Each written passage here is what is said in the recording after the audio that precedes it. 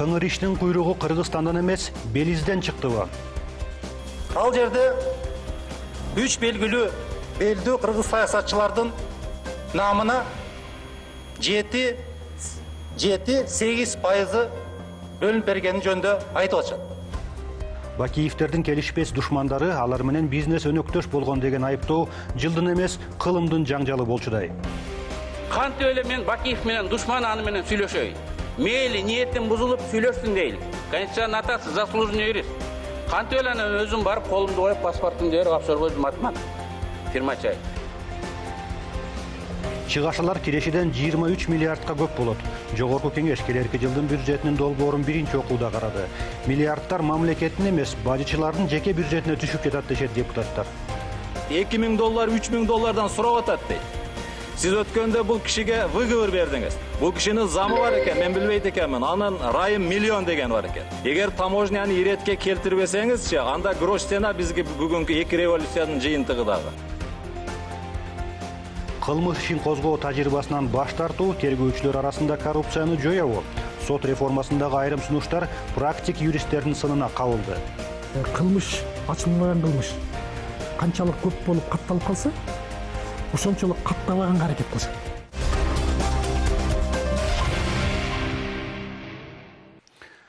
альфа телеком боюнча белиз мамлекетинен келген документтердеги маалыматтарды текшерүү үчүн башкы прокуратура менен улуттук коопсуздук комитети мекемелер аралык топ түзүштү кыргызстандагы эң ири жаңжал боюнча соңку жаңылык азырынча ушул укмк менен башкы прокуратуранын пикиринде белиз документтеринде ысымдар аталган адамдар коомчулуктун көңүлүн башка нерсеге бурдурууга аракеттенип жатышыптыр. Бул чуулгандуу окуя учурда маалыматтык согуш менен гана коштолууда. Океандын ар жагынан келген кагаздарда аты жөнү көрсөтүлгөн депутаттарга азырынча айып тагыла элек. Алар болжолдуу түрдө гана шектелип жатышат. Бирок бул документтердин негизинде пайда болгон божомолдор тастыкталса анда бул окуя өлкө тарыхындагы эң ири саясий жана коррупциялык жаңжал болчудай. Белизден келген барактарда ысымдары жазылган өмүрбек текебаев аида салянова жана алмамбет шыкмаматов ал миң он экинчи жылы мегакомдун улутташтырыла элүү бир пайыз акцияларын сатууга жардам беришсе сыйлык иретинде баасы ондогон миллион доллар болгон акцияларды алышмак экен бирок бул схема ишке ашкан жок. Мегаком эки миң он төртүнчү жылы толугу менен мамлекеттин карамагына өттү. Болбой калган иш үчүн кандай жаза болот? Негизи эле аттары аталган үч депутаттын чынында эле ушундай кылмыштуу ниеттери болгонбу? Бул суроолорго эми башкы прокуратура менен улуттук коопсуздук комитети жооп бериши керек. Белиз документтериндеги маалыматтар учурда текшерилип гана жатат. Кылмыш иши козголгон жок. Жаңжалдын таржымалын элизат эркинтур ырааты менен айтып берет. Бул жумада кыргызстанда белиз гейт деген жаңы түшүнүк пайда болду анын тегерегинде чоң жаңжал болуп парламенттин бир күнкү отуруму ушул маселеге арналды. Атайын кызматтын линиясы аркылуу улуттук коопсуздук комитетине белиз өлкөсүнөн альфа телеком ишканасына байланыштуу расмий документтер келген анда беделдүү үч саясатчы тууралуу сөз жүрүп жаткандыктан башкы чекист абдил сегизбаев президентке маалымат берген. Өлкө жетекчиси болсо текшерүү жүргүзүүнү башкы прокурорго тапшырды. Ал эми документте аты аталган ата мекен фракциясынын депутаттары парламент парламенттеги трибунасын пайдаланып саясий билдирүү жасап кесиптештерине жардам сурап кайрылды кантип эле мен бакиев менен душман аны менен сүйлөшөй мейли ниетим бузулуп сүйлөштүм дейли конституциянын атасы заслуженный юрист. Кантип эле анан өзүм барып колумду коюп паспортумду берип офшорго өзүм атман фирмачы мейли мен тентегирээк болоюн юстиция министри менен ген прокурор менин артыман ээрчип барып тиги барып ошол жерден тиги өзүлөрүнүн фамилиялары менен. Офшор ачабы эми менин сиздерге кайрылуум биз дагы жөн отуруп алганыбыз болбойт. Келгиле депутаттык комиссия түзүп иликтейлик. Интерполго кайрылып чын эле жана аты аталган адамдар офшорго компания ачыптырбы ошол жака барып текшерип келсин. Биз макулдугубузду берип ишеним катын берейлик кыргызда бир жакшы макал бар. Өмүрбек чиркешевич мындай капа болбоңуз. Ууру тойгончо жеп өлгөнчө карганат деген сөз бар. Андан көрө ошол жерге чыгып каргангандан көрө ошол прокуратурага барып туруп түшүнүктү берип туруп өзүңүздүн укугуңузду ошол жерден коргобойт белеңиз. Мен карганган жокмун эми бул ким эми жооп бере турган? Акыйлашып. Мен президенттин өкүлүмүн президент өкүлү болсоң эмне кылайын. Регламентте бар бекен бар. Чынында жаңы өрбек чиркешев айтканда эки миң бешинчи жылы мен да одномандатныйдан шайланып келгенде бул окуяга күбө болгом да жана матрешка гейт менен күбө болгом бул маселе боюнча. Эми мен ойлойм бул болсо бүгүнкү мындай парламентте алты партиянын бир партиясы элдин добушуна ээ болуп келгенден кийин ошо партиянын лидерине өтө мындай э, чоң күнөө коюлуп аткандан кийин чоң күнөө коюлуп атат ошон үчүн менин сунушум мындай да мен билбейм ким кайсыл тарап туурадыр аны болсо баардыгы жана следствие аныктайт да следствие аныктайт бирок бул чоң күнөө мегакомду силер билесиңер мен болсо биринчи вице премьер министр болуп турган кезимде деле ошондо силичти коргогондо билебиз ген прокуратура ким жетектеп турганын билебиз мегакомдун аркасында ошондо спикер болуп мына чыныбаковичтин ордунда отурган адам келип алып туруп россиялыктардын депутаттарын келип туруп бул жерде пресс конференция бергенин билебиз менин аркаман ошондо комиссия түзүп туруп мени күнөөлөгөн биринчи вице премьерди күнөөлөгөн урматтуу депутаттар. Россиялык компания офшордун өкүлүн комиссияга киргизгенин да билебиз менин сунушум мындай чыныбакович сиз жаңы туура айтып кеттиңиз протоколго мен да сизди жакшы түшүнүп атам.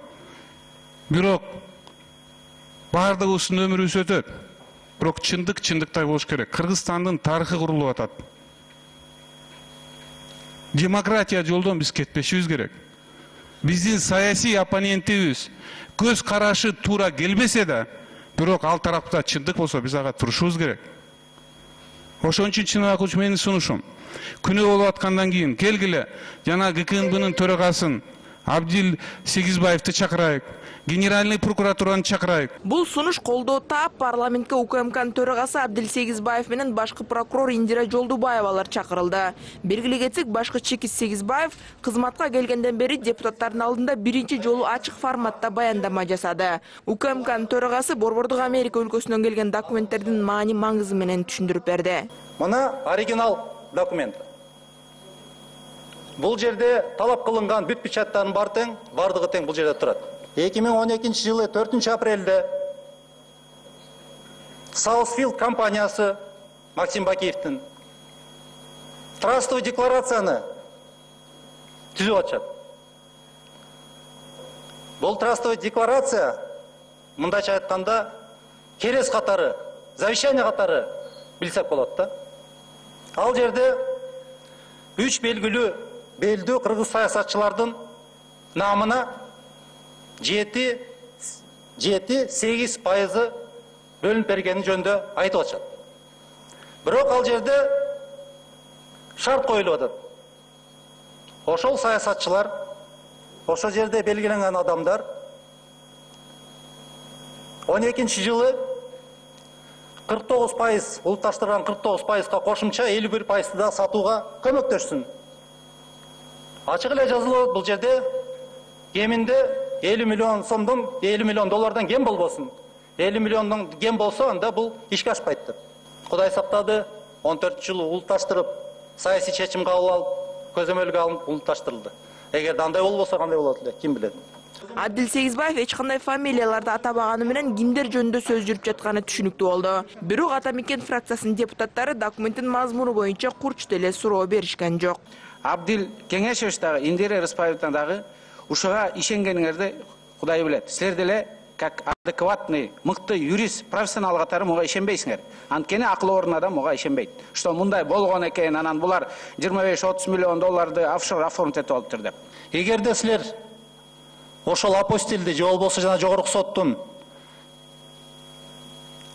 туура эмес иш кылганын далилдесеңиз каршы эмесмин ачык эле айтып атасыңар бурмалап деп. Бул чындыгында жалган сөз.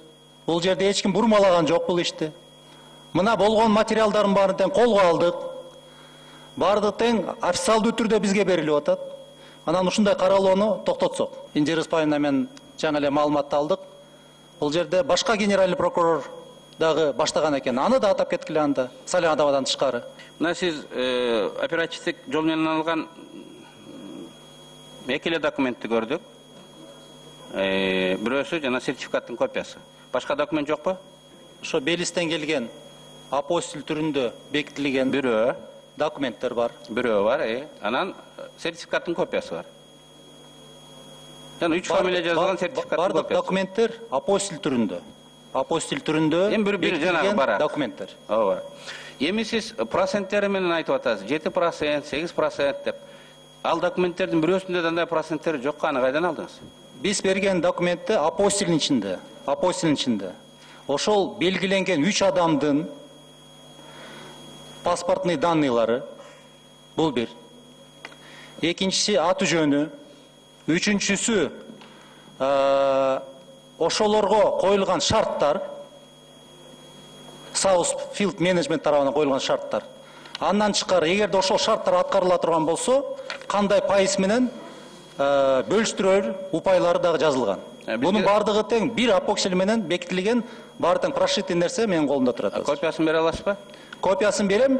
кылмыш иш козгонгон негиз жок да кылмыш болгон эмес аракеттин белгилери болушу мүмкүн бул жыйынтыгы бир гана уят болду жаман дегенди сөз кылат да ведомство аралык жумушчу топту түзүп э, бирге иликтейбиз ошол суроолорду азыр э, азырынча текшерүү гана болот азыр текшерүү Ооба. кылмыш иши козголгон жок Жок, козголгон эч бир жок. Жок. мисалы үчүн биздин Жок. мамлекеттик чиновниктердин эч кимисине туурабы Текшерүүнүн натыйжасында болгон материалдар юридикалык баа берилет. Ошонун негизинде Генералдык прокуратура иш козголобу козголбойбу ошону анан кийин аныктайт. ал убакта урматтуу депутаттар жакшы билесиздер мен премьер министр болгом ошол эле Southfield компания менен биз кармашып келгенбиз мен ойлойм бул иш жакшылап изилденсе бунун түбүндө ошонун баары чыгат болуш керек ошонун ичинде комиссия да түзүлгөн бир топ депутаттар кызыктуу болгон ошол жерге бул иш боюнча мен керек болсо бул жөнүндө көрсөтмө бергенге дайынмын мен бул биринчиси экинчиси абдил кеңешович сиз болсо айтып атасыз тиги расмий түрүндө белистен алдык деп бул расмий түрүндө кайсы ошо мамлекеттик мекемеден алдыңыздар сиздер Өврөт Отолович, биз документти апостиль түрүндө апостилди Билистин жогорку сотунун катчысы койгон. эми болсо элдин баарына мындай айтылып атат фамилияларчы биздин коллегалардын сиз ошону тактап туруп мындай айтпайсызбы кимдин фамилиялары бар сиз борбордук трибунага чыктыңыз кайсы депутаттардын канчалык долясы бар ошону айтпайсызбы аныктап Өврөт Отолович, азыр башкы прокуратура менен бирге биз текшерүүнү толук бүтмөйүнчө мен ага айтууга, ат- аттарды атоого укугум жок. Ошону туура түшүнсөңүз. эми мын- мындай мындайча айтканда андай болсо телевидениядан көрсөтпөш керек болчу да анда телевидениядан көрүп документтер баардык жанагы газеттерге чыгып атса фамилиялар чыгып атса анан сиз ал ишти болсо президентке келип туруп мындайча айтып ушул документтер келди деп жоопкерчиликти толук мойнуңузга алып туруп берип атсаңыз фамилия айтылыш керек да мындай нерселер э, абдил кеңешович ушундай нерселер мындайча айтканда ошон үчүн ишеничке алып келбейт да. Себеп дегенде баардыгы ачык айкын болуш керек. Сиз өзүңүз айткандай бүгүнкү күндө мамлекет демократия жолунда мынакей тамтаңдап жаңы туруп баратат буга сиздин салымыңыз да болуш керек. Ошон үчүн баардыгы ачык айкын болуш керек. Өрбек чиркешевичтин биздин ой пикирибиз ар башка болсо да бул болсо чоң саясатчы жыйырма жылдык тарыхы бар. Эки миң онунчу жылда апрелде чоң салымы бар. Ошон үчүн күнөөсү болсо ал сөзсүз жоопкерчиликке тартыш керек бирок күнөөсү болбосо жөн эле күнөөлөй бербешибиз керек да буну жакшылап изилдеш керек Анда мен өзүмдүн мүмкүнчүлүгүмдү пайдаланып, мына жоопкерчиликти мойнума алып, декларация трастын окуп берейин силерге. На русском языке. Совершено 4 апреля 2012 года. Трастовый управляющий Авалан Консалтинг Лимитед. Зарегистрировано по законам Белиза. Белиз Сити, Маркет Сквер, 60. Бенефициары. Первый, второй, третий. Первый бенефициар – господин Өмірбек Черкешевич Текебаев. Родился 22 декабря 1958 года. Гражданин Кыргызской республики, паспорт, указана серия паспорта. Выдан 10 июля 2006 года. Второй бенефициар – Солянова Аида Дженшпековна. 7 августа 1972 года рождения. Гражданка Кыргызской республики, держатель паспорта, номер, выдан 6 июня 2008 года. Третий бенефициар – господин Шахмаматов Алмамбет Насырханович. Два- с 21 октября 1969 года. Гражданин Кыргызской республики, паспорт выдан 7 декабря 2006 года. Компания Southfield Management зарегистрирована 9 июля 2009 года. Приводится номер и адрес. Приводится количество акций и так далее. Белгилей кетсек апрель окуясынан кийин мегакомго байланыштуу жаңжал көпкө созулган. Компаниянын кырк тогуз пайызы гана улутташтырылып ал эми элүү бир проценти калып калганын себептери түшүнүксүз. Төрт жылга уланган соттук процесстерден кийин гана эки миң он төртүнчү жылы жайында альфа телеком ишканасы толугу менен мамлекеттин карамагына алынган. Ага чейин контролдук пакетке тагыраак айтканда элүү бир пайыз акцияга максим бакиевдин финансылык кеңешчиси алексей елисеев ээлик кылып келген. Мегаком боюнча, Альфа Телеком боюнча ишти алып барып атканда Елисеев Алексей Александровичтин 2010 жылы 28 июнда лицензиясы кара жандандырганы мен үчүн табышмак болуп калды. Ошондо Кыргызстандын эли канжыта отурган учурда кимдир бирөө Алексей Елисеевке Максим Бакиевдин оң колуна лицензиясын жандандырып атат. Эмне себептен? Ошол учурда мына документтердин баарын карап чыктык. Елисеевке үч иш козголгон. МВД, ГКМБ тарабынан издөөдө жүргөн. Эмне Министерство юстициянын жетекчилиги асмандан түштү беле? Же кулагы укпай, көзү көрбөй калды беле ошол учурда? Эмне себептен Елисеевке ошондой лицензия берилип атат? Ошол лицензиянын негизинде калган иштердин бардыгын тең Мегаком боюнча башка улуттушталган объектилер боюнча Елисеев улантып атат. Менде чоң суроо пайда болуп атат. Улуттук коопсуздук комитетте чоң пайда болот. Мен ойлойм жакынкы учурда буга да жооп табабыз. Елисеевке 2010 жылы лицензияны берип жатып, бир дагы документ топтолгон эмес экен. Же болсо топтолсо, ал атайын жоготулган экен.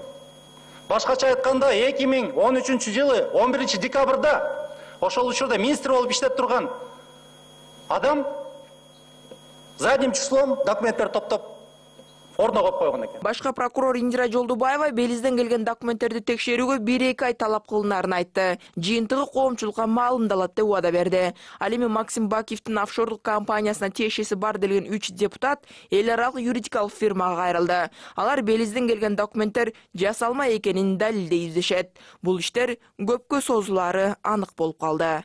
Элизат Эркинтур, Алтын Каныбек уулу, НТС Жумалык.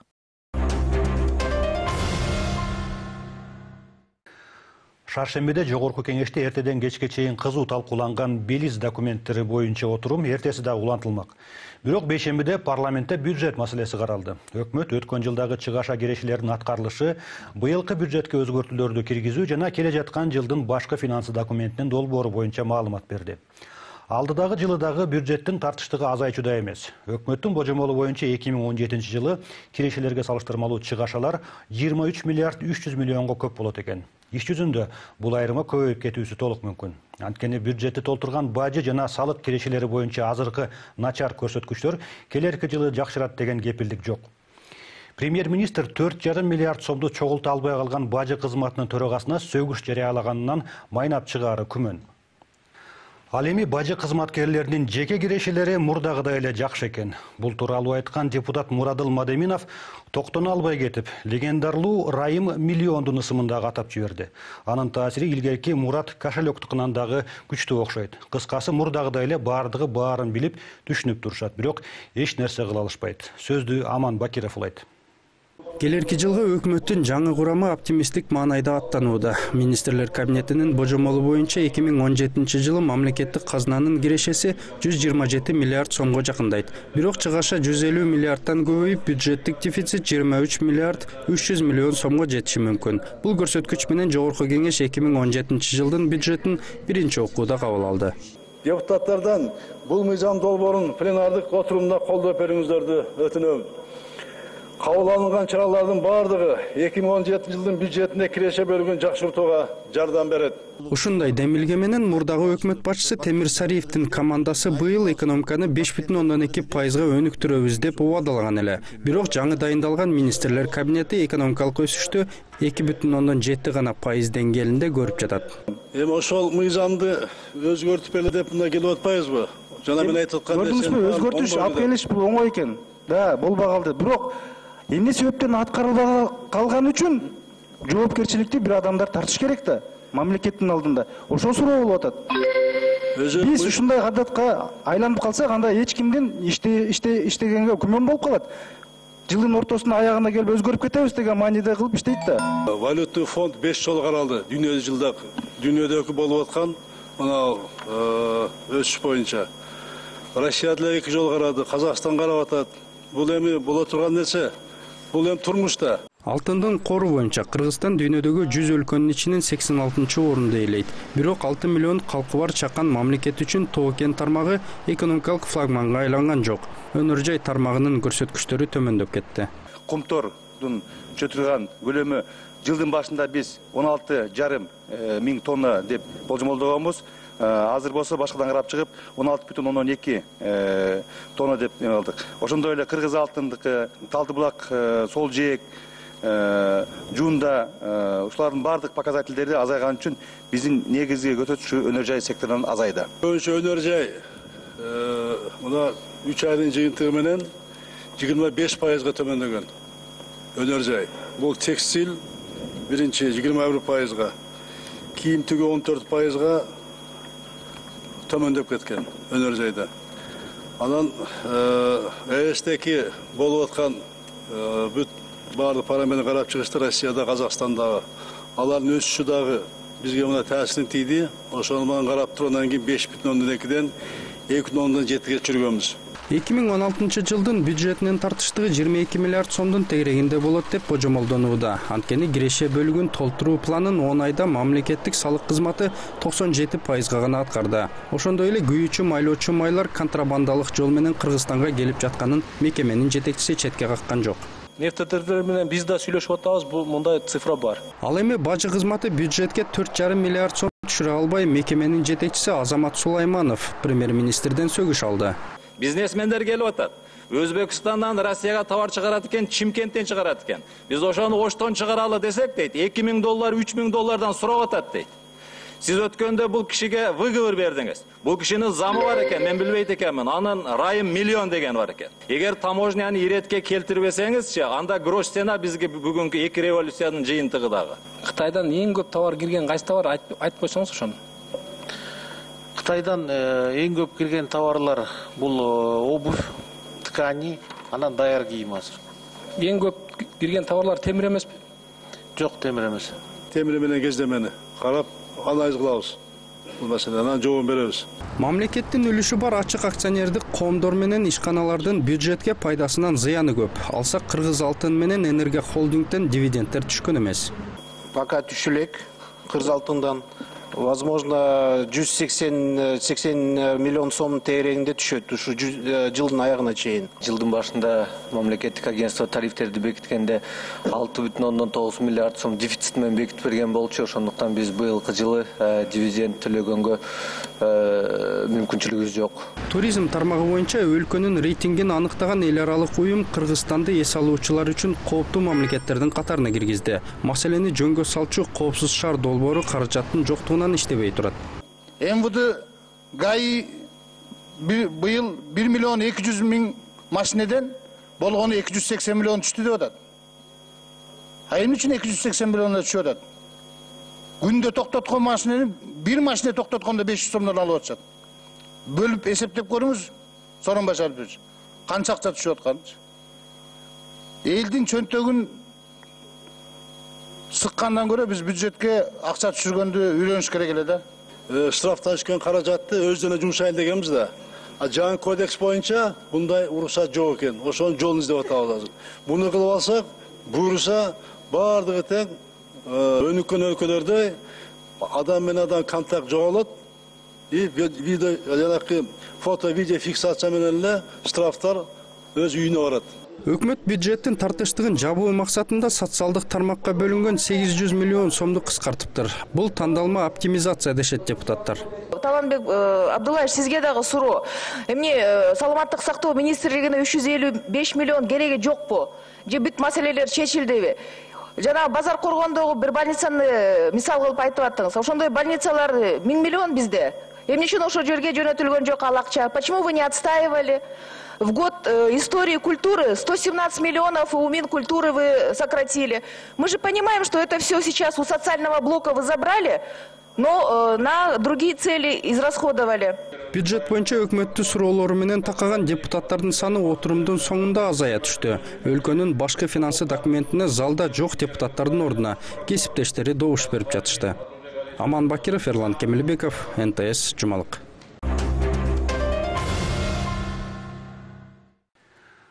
кылмыш ишин козгоо институтунан баш тартып анын ордуна кылмыштарды жана жоосунсуз жоруктарды каттоо ыкмасына өтүү керек. Мындай сунуш соттук реформанын алкагында демилгеленип жатат. Учурда жазык процесс кодексинин жаңы долбоору иштелип чыгууда кылмыш ишин козгоо тартибин жоюу менен тергөөчүлөрдүн деңгээлинде коррупцияны жоюуга болот дешет бул демилгенин авторлору анткени кылмыш тууралуу арыз келип түшсө тергөөчү ал арызды жашырып иш козгобой койгон учурлар болот экен мындай көрүнүштөрдү жоюу максатында мыйзам бузуулар тууралуу келип түшкөн баардык арыздарды бирдиктүү реестрге каттоо сунушталып жатат. Даттануу каттарын кабыл алуудан баш тартуу мүмкүн болбойт дешет бул жаңылыкты колдогондор арыз ээси жазган кагазын артка чакыртып алса дагы ал реестрде кала берет бирок кылмыштарды тергеп жүргөн практик юристтердин пикиринде. Мындай тартипти орнотуу чоң жаңылыштык болот. Тажрыйбалуу криминалисттердин айтымында кылмыш ишин козгоо практикасын жоюу тергөө жаатында баш аламандыкты жаратат. Жазык процесс кодексин реформалоо боюнча пикирлерди нурзада сыдыкбекова угуп келди. Эки миң он төртүнчү жылы кабыл алынган бул документти жусуп баласагын атындагы кыргыз мамлекеттик университетинин кызматкери сынактан өткөрүү үчүн экинчи тараптан үч жүз доллар алганы айтылат. Бул фактынын бетин ачкан экономикалык кылмыштарга каршы күрөшүү кызматынын ыкчам тобу баардык материалдарды курманалиев деген тергөөчүгө беришкен. Бирок курманалиев жабырлануучулардын арызы жок деген жүйө менен кылмыш ишин козгобой койгон.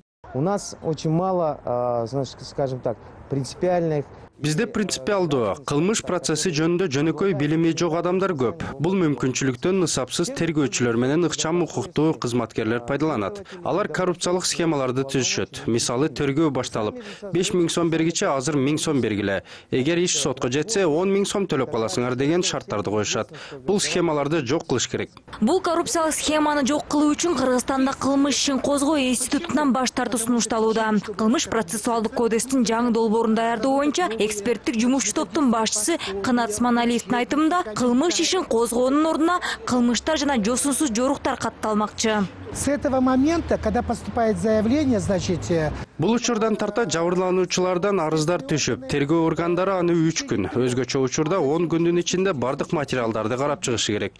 Анын негизинде гана тергөөчүлөр кылмыш ишин козгошот же баш тартышат анткени коррупциялык тобокелдиктерден улам ал кылмыштардын изин жашырууга аракет кылышы мүмкүн мындан улам кылмыш ишин козгоо практикасын жоюу сунушталууда эгер кылмыш процессуалдык кодекстин жаңы долбоору күчүнө кирсе жарандардын баардык арызы бирдиктүү реестрге катталат дешет демилгечилер бирок учурда ансыз деле окуялар атайын китепке катталат дешет юристтер. Анткени тергөөчүлөр кылмыштын бетин ачуу боюнча отчет берүүгө милдеттүү. Канча кылмыштын бетин ачтың деген э, отчет бар да? Бул туура эмес. Эмне себептен? Себеби э, кылмыш ачылбаган кылмыш көп болуп катталып калса ошончолук каттабаганга аракет кылышат. Үчүн арызын алып келет ошол эле жанагы мен айткан кубка каттабай коет.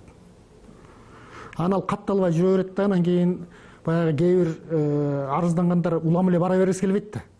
Кээ биринин мисалы үчүн чыгашасы абдан эле аз болуп калат. Мисалы үчүн чөнтөгүнөн э, капчыгын уурдап алса капчыгында мүмкүн жүз сом бардыр. Ошо жүз сом үчүн убара кылып жүрөмбү деп туруп арыз берет дагы анан кийин арыздын тагдырына таптакыр кайыл болуп кетип калат. Бирдиктүү арыздар реестри түзүлгөн күндө деле катталган окуяларды атайлап каттабоонун жолун табышпайт деген кепилдик жок. Анын үстүнө коррупциялык схема кылмыш ишин козгоодо эмес тергөөчү менен прокурордун ортосунда дешет адистер. В уголовно процессуальном кодексе там все четко расписано. Кылмыш жаза процессуалдык кодексинде тергөөчүнүн милдеттери так жазылган. Бирок документте кош стандарттуу беренелер бар. Алсак иштин бетин ачкан кызматкердин рапортуна ылайык тергөөчү кылмыш ишин козгой алат. Башка беренеде жабырлануучунун арызы менен гана кылмыш иши козголот деп жазылган. Бул эки беренеге таянып кызыкчылыгы бар тергөөчү кылмыш ишин козгойт же токтотот. Бул системаны өзгөртүүгө аракет кылгандарды кызматтан айдап салышат. Ал эми теоретиктердин акылга сыйбаган демилгелерин тергөөчүлөр менен прокурорлор колдошот. Бирок кылмыш жаза процессуалдык кодексинин жаңы долбоорунда бири бирине карама каршы келген кош стандарттуу беренелер жоюлду дейт эксперттик топтун башчысы. При написании любого кодекса, чтобы одна статья не противоречила второй статье, каалаган кодексти жазуу учурунда башламандык жаралбашы үчүн бири бирине карама каршы келген беренелер жокко чыгарылат. Документтеги беренелердин баардыгы бири бирине шайкеш келиши керек. Кодекстин долбоору жогорку кеңеште экинчи окууда кабыл алынды. Үчүнчү окууну күтүп жатабыз. Ага кошумча кодексти иштетчү мыйзам долбоорлору да даярдалган. Жаңы кодекс конституцияга да туура келиши керек дешет адистер. Анткени баш мыйзамда адамдын күнөөсүздүк презумпциясы бар. Анын күнөөлүү жагы экенин жалгыз сот аныктайт. Кээ бир иш тергөөчүгө келет анан тергөөчү менен сүйлөшүшөт анан тергөөчү эң макул сүйлөшүп алдык деп ошол ишини ишти жабыш үчүн далилдерди жок кылып коюшу мүмкүн же болбосо далилдерге көңүл бурбай коюшу мүмкүн токтом чыгарат дагы кашкайып далилдер турса дагы башка кишилердин берген баягы э, суралган көрсөтмөлөрдүн негизинде далилдерге көздү жумуп туруп баягы күнөөсү жок деп туруп токтом чыгарып салат мына ушул жерде коррупция жатат да ал публичдык публичный органга сотко жетпей калды кылмыш жаза процессуалдык кодексинин жаңы долбоорун даярдагандар казакстандын прибалтика өлкөлөрү латвия литва жана эстониянын тажрыйбасына таянышыптыр бирок башка өнүккөн өлкөлөрдө тергөө комитеттери да ийгиликтүү иштеп келет. Ал эми кыргызстанда канча укук коргоо органы болсо алардын дээрлик баардыгында тергөө башкармалыктары бар. Бул туура эмес дешет адистер азыр санап көрсөк бир он бир орган бар экен. Ошо баардыгы кылмышты тергейт экен да? Тергөөдү бөлүш керек бүт мына мисалы смбдан алыш керек тергөөдү генеральный прокуратурадан алыш керек тергөөдү ички иштер министрлигинен алыш керек тергөөдү таможнядан э, пограничный служба жана ушундай сыяктуу органдан болгон тергөө болгон дознание болгон тергөө болгон жердин баарынан алып туруп анын баарын бириктирип следственный комитет түзүш керек. Бул следствие ошо следственный комитет түзүлгөндө тергөө комитети бүт жанагы арыздардын баары барып ошол жерден каттаныш керек.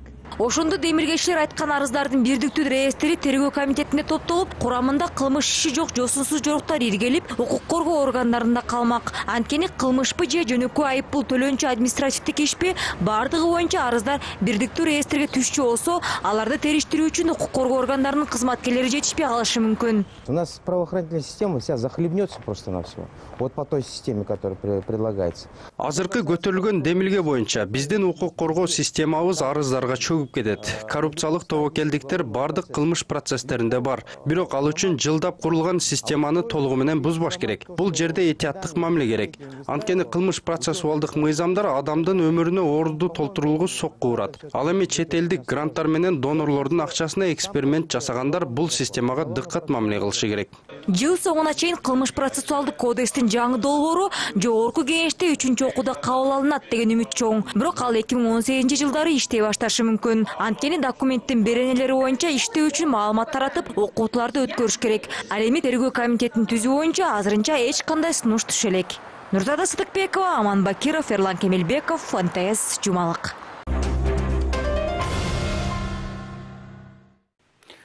Кыргызстандагы номер биринчи телеканал жылдын тандоосу долбоорунун алкагында 2016 жылдын сезонунун жыйынтыгы боюнча бул номинациядагы жеңүүчү болуп НТС телеканалы таанылды. Тиешелүү сертификатты салтанаттуу тапшыруу аземи кечээ күнү Токтогул Сатылганов атындагы улуттук филармонияда болуп өттү. Өз тармактарында мыкты деп таанылган кыргызстандык аркыл компаниялар, банк, курулуш ишканасы, мобилдик байланыш оператору жана жылдын адамы дагы өз сыйлыктарын алышты. Массалык түрдө керектелүүчү продукцияны өндүргөндөрдүн алдыңкыларын алгач эксперттер тандашып, андан соң добуш берүүгө катардагы кыргызстандыктар катышышкан. Сурамжылоонун натыйжасында Кыргызстандагы номер биринчи телеканал деп НТС таанылды. Победителем признана телерадиокомпания НТС. Новая телевизионная сеть. Мы благодарны нашим зрителям.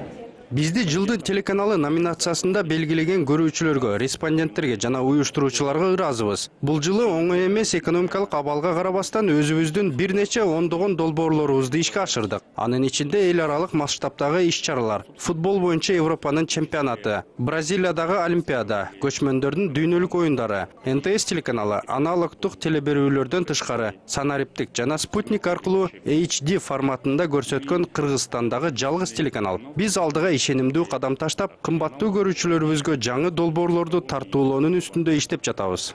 Года – это проект, который определяет абсолютного победителя. Жылдын тандоосу бул ар кыл тармактар жана багыттар боюнча эң мыктыларды аныктоочу долбоор. Жеңүүчү эки этап аркылуу аныкталат. Биринчиси эксперттердин добуш берүүсү, экинчи этап калк арасында сурамжылоо. Бул жыйынтыктар менен упайлардын бардыгы аудиторлорго берилип, алар соңку чечим чыгарышат. Уюштуруу комитетинин жыйынтык чыгарууга эч тиешеси жок. Аяктап жаткан жумадагы калган урунтуу окуялардын кыскача түрмөгүн сунуштайбыз.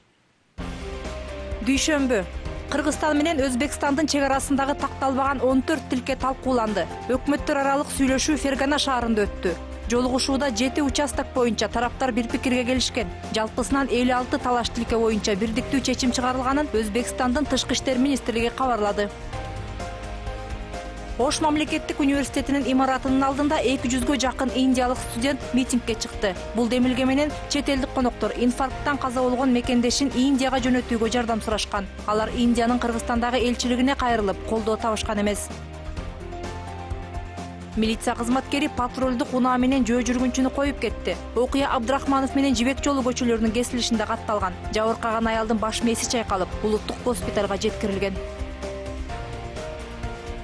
шейшемби президент атамбаев мамлекеттик башкаруудагы коррупцияга каршы туруу иштерин жандантуунун жана күчөтүүнүн маанилүүлүгүнө токтолду. Бул боюнча пикирин өлкө башчы укмкнын антикоррупциялык кызматынын директорун кабыл алып жатып билдирди президент бул кызматтан жогорку кесипкөйлүктү көрсөтүүгө паракорлук менен күрөшүү чараларын өркүндөтүүгө жана коомчулук менен ишти күчөтүүгө тийиш деп белгиледи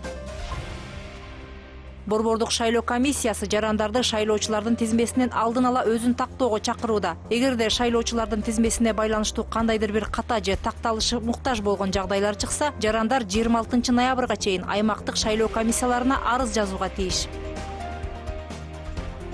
Шаршемби бишкек кара балта жолун кайрадан эле кытайлык компания ишке ашырышы мүмкүн. Транспорт министрлигинен билдиришкендей долбоорго каражат бөлчү азия өнүктүрүү банкы кытайлык компанияга артыкчылык берүүдө. Эгер бул талап аткарылбаса чет элдик каржы булагы жол курууга акча бөлбөй турганын ачык жар салганын жеке булактар билдиришти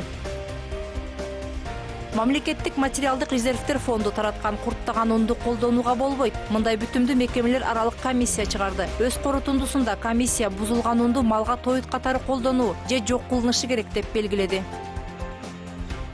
интернеттин кымбатташы боюнча кыргыз телекомдун жетекчилигинин аракеттерине башкы прокуратура укуктук баа берет. Бул боюнча атайын түзүлгөн депутаттык комиссиянын өкүлдөрү билдиришти. Эске салсак мамлекеттик мекеменин жетекчиси кыргызстандык эки компания менен секундасына бир мегабит интернетти отуз доллардан алуу боюнча келишимге кол койгон болчу. Бейшемби өкмөттүн жаңы курамынын мүчөлөрү ант беришти. Министрлер кабинетинде алты министр менен бир вице премьер министр алмашты. Ант берүү аземи президенттин катышуусунда өтүп жаңы өкмөттүн ишине ийгилик каалады баңгизатын сатып жаткан жеринен эки милиция кызматкери кармалды. Бул факттын бетин ички иштер министрлигинин өздүк коопсуздук кызматы аныктады. Белгилүү болгондой кармалган тартип сакчылары жарандарды коркутуп маң затын сатууга мажбурлашкан эки жүз сомго бааланган адам өмүрү. Ордо калаада он тогуз жаштагы бала такси айдоочусун отвертка менен өлтүрдү. Кылмышка шектүү таксинин акчасын бере албай айдоочу менен мушташып аны өлтүргөнүн суракта билдирген. Жума украинанын президенти петр порошенкону тамашага алган телефондук бейбаштын маеги интернетке тарады. Ал өзүн кыргызстандын президенти катары тааныштырып крым донбасстын тагдырын талкуулаган украинанын президентинин басма сөз кызматы кыргыз дипломаттары бул сүйлөшүүнү уюштурууга көмөктөшкөн деп айыптады. Ордо калаада жааган кардан улам жүздөн ашык дарак кулап жыйырма бир унааны басып калды. Бир адам жабыркап ага медициналык жардам көрсөтүлгөн. Жашылдандыруу мекемесинен алтымыш сегиз кызматкер жана он атайын техника тартылды. Бишкек шаарында жол кырсыгында каза болгондорду эскерүү акциясы болду. Иш чара номер үчүнчү балдар ооруканасынан башталып жеңиш аянтында улантылды. Иш чарага саламаттыкты сактоо ички иштер министрликтеринин кызматкерлери менен коомдук бирикмелердин өкүлдөрү катышты